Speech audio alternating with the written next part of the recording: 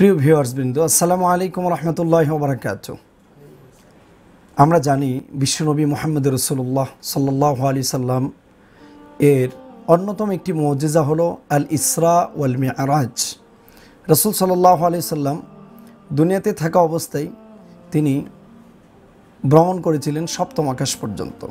আর এটা আমরা খুব ভালোভাবেই জানি, যেটা আল্লাহ রব্বুল আলমিন কোরআনুল করিম সৌরা বানি ইসরাইল যার অপর নামই হচ্ছে সৌরাতুল ইসরা।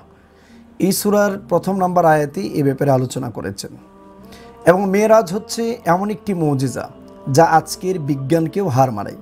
আজকের বিজ্ঞান, আমরা জানি, রকেট বের করে শুধুমাত্র মঙ্গল গ্রহ পর্যন্ত পৌঁছার দাবি জানায়, বাকিটা আল্লাহ রব্বুল্লাহ আলমিন ভালো জানেন। কিন্তু আল্লাহ রব্বুল্লাহ আলমিন তার রসুল মোহাম্মদ সাল্লাহ সাল্লামকে এই দুনিয়া থেকে সপ্তম আকাশেরও ঊর্ধ্বে পর্যন্ত ভ্রমণ করিয়েছিলেন। এই মেয়েরাজকে নিয়ে আমাদের সমাজে অনেক ধরনের কথা প্রচলিত আছে, অনেক ধরনের আমল প্রচলিত আছে। সবে মেয়ারাজ।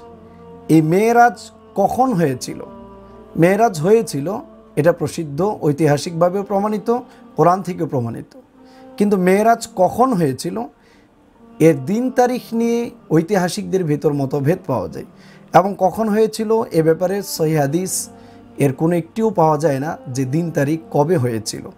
কেউ কেউ বলেছেন ষষ্ঠ হিজড়িতে, আবার কেউ কেউ বলেছেন পঞ্চম হিজড়িতে, এভাবে দশম হিজড়ি পর্যন্ত মতভেদ রয়েছে।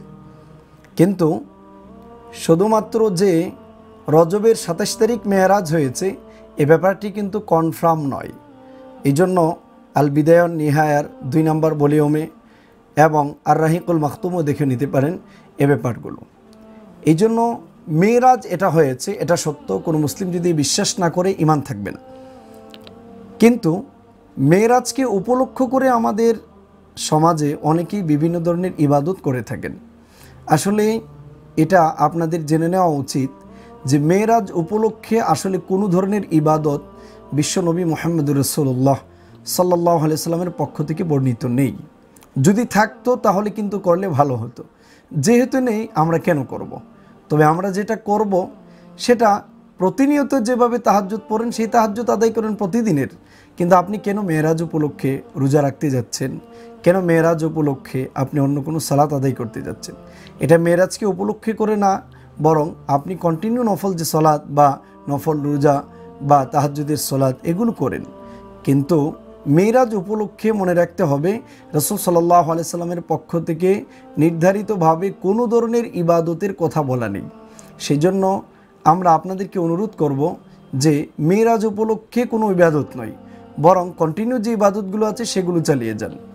এই জন্য মেয়েরাজকে উপলক্ষ করে, অর্থাৎ সবে মেয়েরাজ উপলক্ষে আমাদের সমাজে যা বলা হয়, সেই উপলক্ষে কেউ রোজা রাখে, কেউ বিভিন্ন ধরনের বারো রাকাত, ছত্রিশ রাকাত বিভিন্ন ধরনের সলাৎ আদায় করে। এই জাতীয় সলাৎগুলো আসলে রসুল থেকে প্রমাণিত নয়।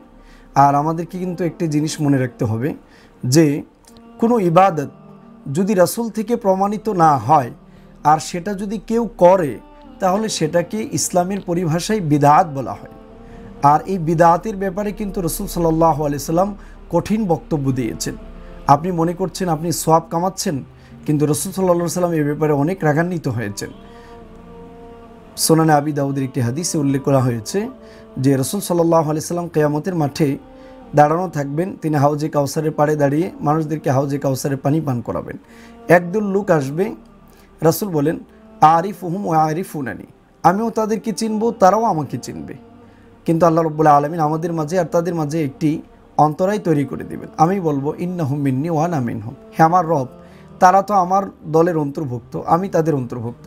আল্লাহ রব্বুল্লাহ আলমিন তখন বলবেন যে, আপনি জানেন না আপনার ইন্তেকালের পর তারা ইসলামের ভেতর কোন ধরনের পরিবর্তন এনেছিল?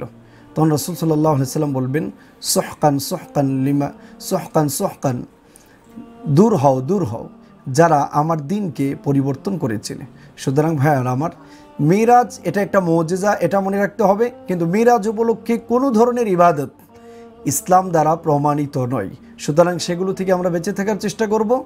তবে দৈনন্দিনের যে ইবাদত, সেগুলো আমরা খুব বেশি করে করার চেষ্টা করব। আল্লাহ রবাহ আলমিন আমাদের সকলকেই বিদাতগুলো থেকে বেঁচে থাকার তৌফিক দান করুন।